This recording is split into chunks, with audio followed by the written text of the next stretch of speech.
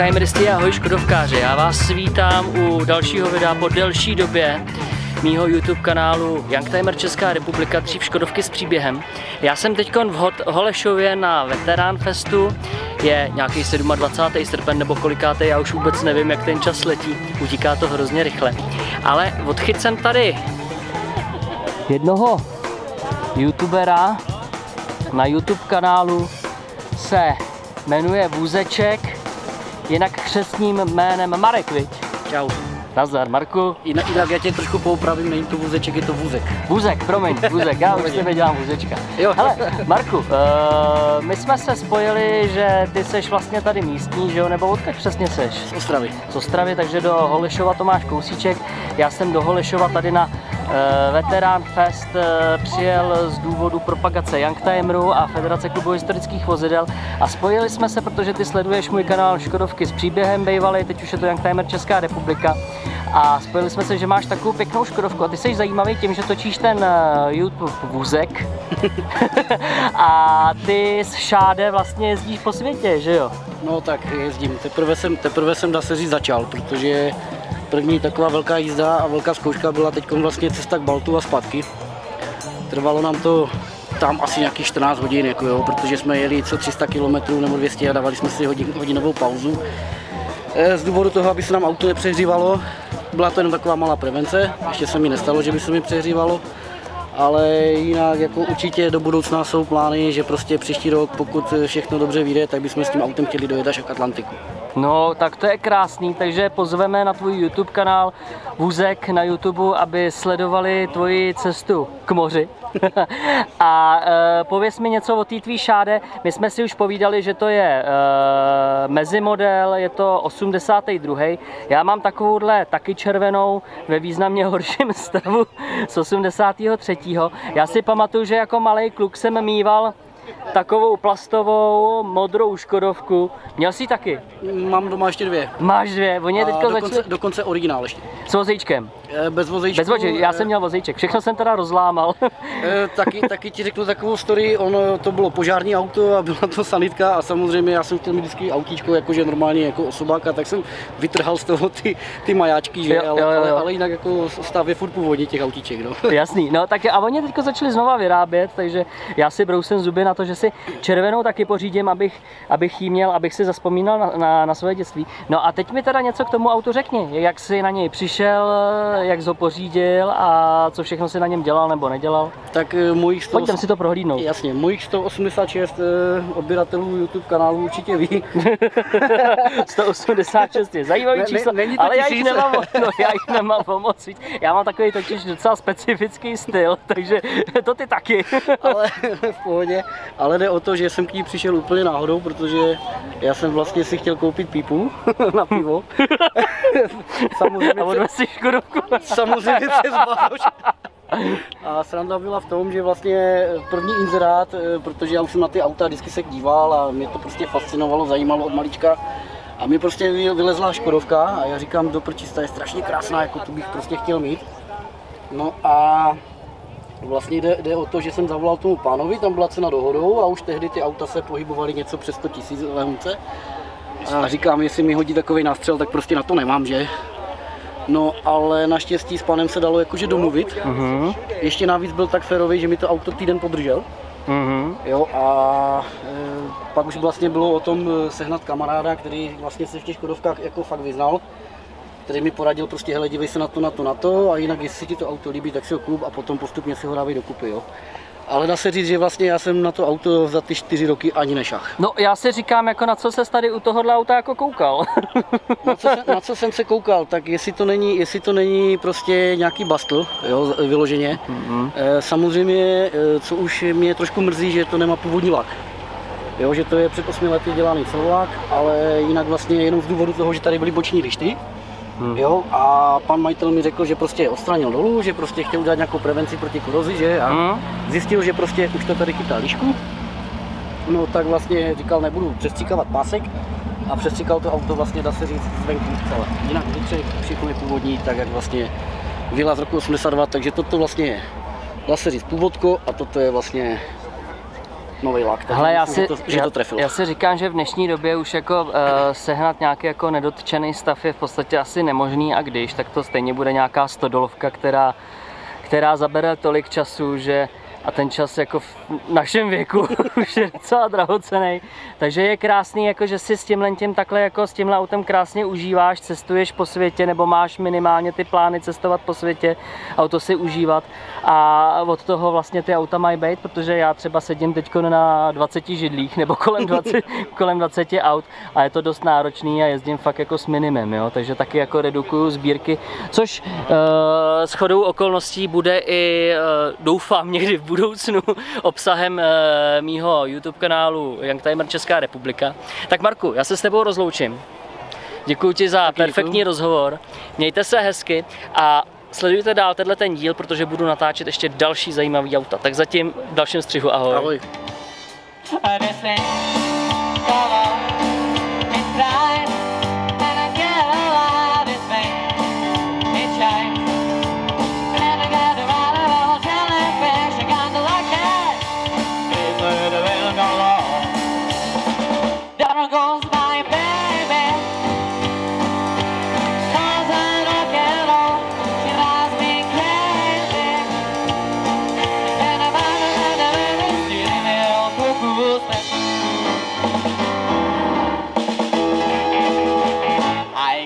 take you.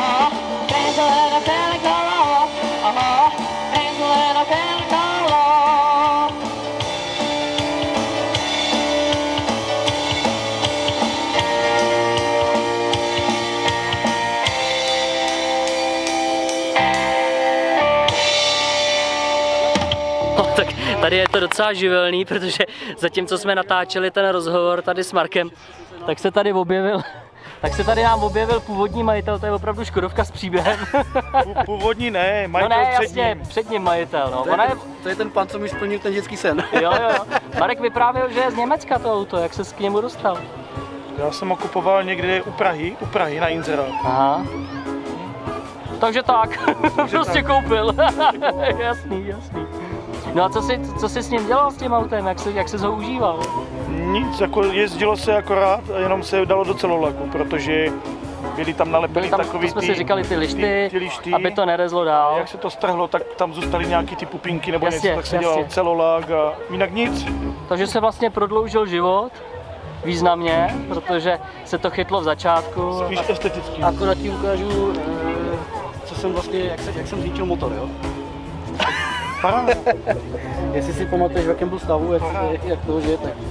Na tom Ale- se dělala akorát spojka tenkrát.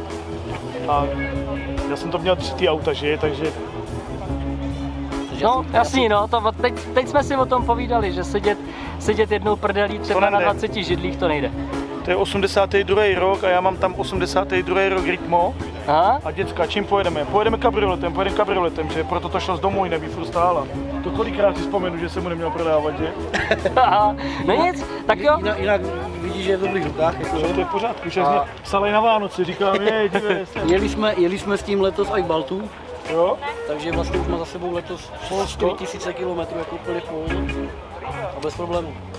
Jediné, co mi na tomu došlo, brzdový valec a ten spojkový valeček, vlastně co na převodovce, ale to jsou normální mechanické věci, které se kazí.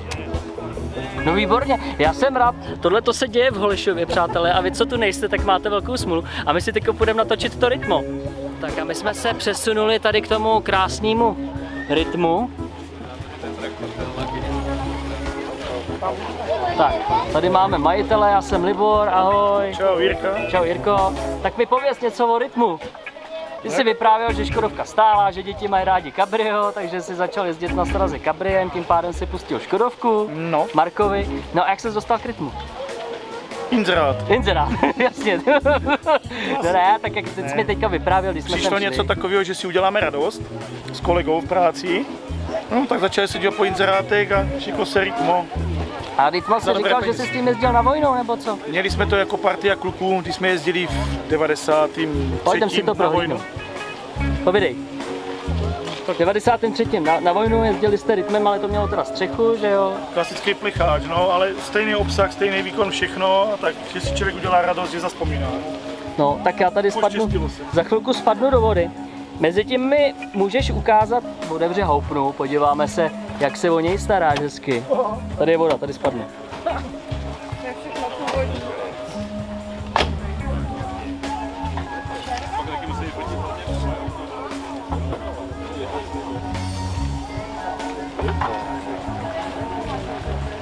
No krása. Myslím, to půjčíme kolegovi, ať to vyleští, jak to na té Škodovce. ten. No jasně. Paráda, kouknu se tě ještě na rádio, protože jsem si všiml, že tam máš krásný kazeťák, ten tam byl. Klasika, no jo, a je to dovezený z Německa. To. Takže takhle, takhle pravděpodobně to auto koupil majitel v Německu a ty ho od něj prostě... Ne, ne, ne, ne, ne, ne, podle mě, viděl jsem ho na inzerátech na eBayu v Itálii a ten Němec to podle mě přiložil na kamion, aby vytížil kamion a za půl roku ho prodával v Německu. Jo, takhle. No ale krásný, povedlo se, dostalo se k tobě a vypadá, že u tebe ještě hodně dlouho zůstane a bude sloužit. tak jo, já ti děkuji za rozhovor, Taky měj se moc. hezky a užívej si to tady. Ahoj, Díky, čau, díky. To by, to by normálně chtělo auta.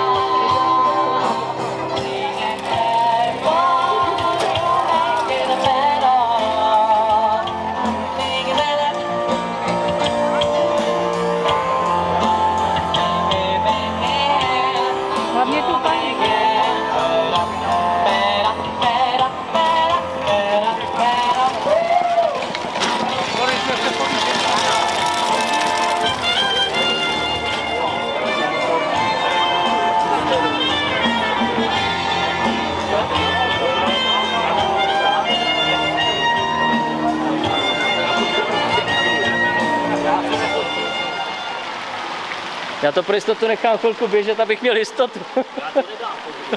Dáte, to je v pohodě.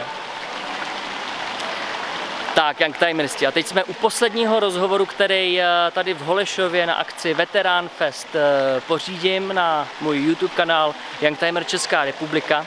A já jsem tady už u krásného Saba 95 z roku uh, 2001 a tady je jeho šťastný majitel, pan Pavel. Pavel, Pavel Dobrý dobrý den. den, dobrý, Dobrý den. den. My jsme si povídali o tom až vašem autě, že má e, velice zajímavou historii, která ho vlastně odděluje od toho standardu těch sábů, který vlastně v podstatě jezdili na silnici běžně. A to je to, že tenhle sáb jezdil, pořídila ho v roce 2001 kancelář prezidenta České republiky.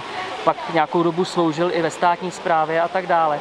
Tak jestli byste mi k tomu autu něco řekl, jak jste se k němu dostal, jak jste ho poznal a jak jste se rozhodl vlastně, že si ho pořídíte?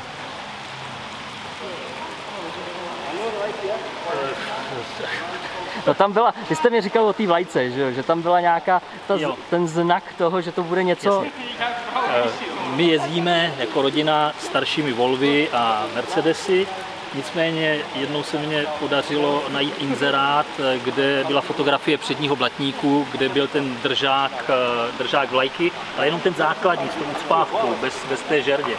A eh, to mě tak nějak eh, trklo, že, eh, že se nejedná o standardní automobil, No a když jsem, když jsem rozklikl inzerát, tak eh, tam, byla, tam byl znalec, znalecký posudek a tím, že jsem eh, soudní znalec eh, v oboru lodí, tak eh, v posudku bylo uveden, uvedeno, že eh, vlastně prvním majitelem tohoto automobilu byl Pražský hrad, což mě zaujalo a v podstatě jsem nějak se rozhodl, že, eh, že toto auto získám. Takže jsme se trošku přetloukali ještě s dalšími sábisty, nicméně se nám ho podařilo vydražit. To auto potom po tom Pražském hradě nějakou dobu sloužilo eh, na ředitelství cel, je to tak. A v roce 2021 se teda dostalo do, eh, do soukromých rukou, to znamená do vaší rodiny. A když mi povíte, protože vy jste tady v Holešově získal eh, ocenění Rarita srazu, což je naprosto právem. Když mi povíte, co vlastně tohleto auto od toho standardu, když jste se tam přehazovali s těma sabistama na té aukci, co ho teda odděluje nejvíc, jakou třeba dokumentaci k tomu autu z té kanceláře máte, nebo z té státní správy a podobně. Ne, pro mě, správně to říkáte, pro mě to auto mělo hodnotu především té dokumentace. Eh, Máme k dispozici kopie kupních smluv, kopie servisních smluv, kompletní historii servisní.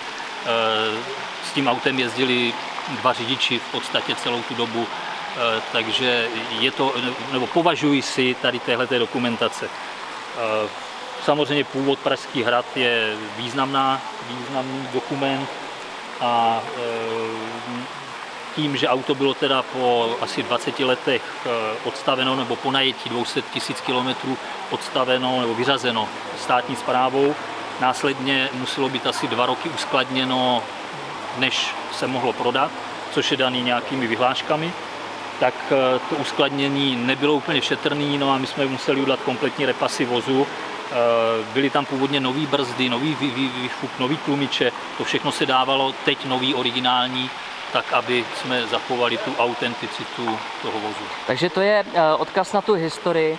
A co se týká třeba nějaký odlišnosti od těch eh, běžných sabů, které byly k dispozici pro do soukromého užití, v interiéru, jsou tam nějaké prvky, které tam eh, nemohl mít třeba nějaký civilní Podle, podle mých informací vlastně jediný rozdíl je ta prezidentská zástava, která, která může být na autě umístěna pouze v případě, že auto buď veze prezidenta republiky, anebo doprovází prezidenta republiky. E, Taková perlička je, že tuto zástavu jsme samozřejmě nemohli dostat s automobilem z důvodu nějakého zneužití, tak jsme si objednali ve Švédsku u výrobce a musím říct, že to není levná záležitost. No, no, tak když chce člověk zachovat tu historii tako, taková, jaká byla, tak je potřeba do toho nějakým způsobem opravdu skočit rovnejma nohama. A když ještě vidím to krásné číslo, tak ještě vy jste měl tu historku s tím převodem, protože to šlo z okresu do okresu, vy jste To si ty je- čísla vymínil, že tam zůstanou. SPZ je samostatná záležitost. eh, Když jsem viděl, jakou historii má to auto a, a víceméně jsem mm, získal ostatní dokumenty nebo zjistil, nebo jsem si prosadil tu možnost získat ostatní dokumenty k autu, tak jsem si dal ještě jednu podmínku, že to auto koupím nebo vydražím, ale následně převezmu pouze za podmínky, že dostanu původní SPZ, která byla eh, v té flotile eh, vlastně prezidentských aut. Takže jste se zakous. Uh, vzal jsem to celkem tvrdě a nekompromisně a vidíte, že se mi to A podařilo. tak to má být. Díky tomu to má tu, tu hodnotu historickou, jakou to má. Eh, Ještě jsme, se, ještě jsme si spolu povídali o tom, já jsem si všiml na internetu, že vlastně auto bylo k prodeji, ale my jsme tady do vás trošičku ještě s kolegama hustili, abyste to auto neprodával, protože k takovému už se v životě nedostanete, je to tak, že? Je to, je to Už jste se rozhodl, že si ho necháte, protože já vám to vřele doporučuju. Ne, dopor, doporučujete mě to úplně všichni. Eh, My se zabýváme hlavně Volvy a Mercedesy jako rodina. Jezdíme 20-letými vozy, kromě teda nových Mercedesů jako firmních. A eh, tím, že to úplně nezapadalo do, do těch značek, co, co máme, eh, tak eh, jsem auto nabídl k prodeji. Nicméně postupně mě i ti zájemci, kteří projevili zájem o koupy, tak se mě snaží to rozmluvit, ať si, to, ať si ten automobil nechám. A čím dál víc si že těžko bych získal auto s podobnou historií. Jasně, takovýhle auto s takovouhle historií prostě už neseženete. Zejména v takovémhle původním stavu, nenapadený kutilem nebo tunerem. Takže vřele doporučuji auto si ponechat. Já vám, Pavle, moc děkuji za rozhovor. Já děkuji vám. Věřím, že se uvidíme na nějakém dalším Určitě. srazu. Když ne s A tímhle automobilem, tak s nějakým jiným, ale asi ne- nezaručím tu historii. Výborně. Děkuji, mějte se Taky hezky děkuju. a těším se na brzkou viděnou. Naschledanou. Naschledanou.